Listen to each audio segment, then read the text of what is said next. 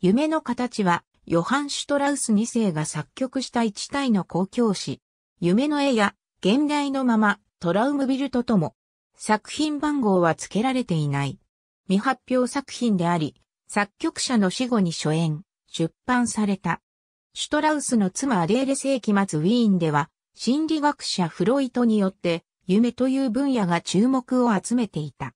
そのため、ウィンの年代記と呼ばれたワルツオー・ヨハン・シュトラウス2世は、流行の夢を題材とした楽曲を作ろうと考えるに至った。ヨハン2世は、真面目と面白さの中間に位置する曲と定義し、ジャンルを公共詞とした。トラウムビルトとは、夢にまで見る、恋人の美しい姿を称えた愛の歌である。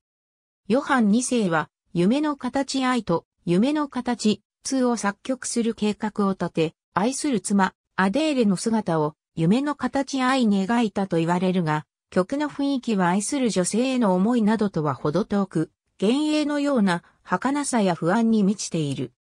ヨハン2世は、まず誰と誰の姿を描くかという計画を、弟のエドゥアルト・シュトラウス1世に教えて、続けて、次のようにからかったという。この2曲が、ヨハン2世の存命中に初演されることはなく、追悼演奏会の一環として初演された。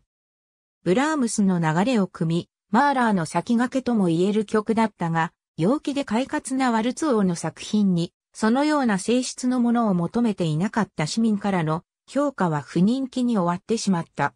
AB ケンプ P222ABCD コミヤ P215 ハット AB コミヤ P214 ありがとうございます。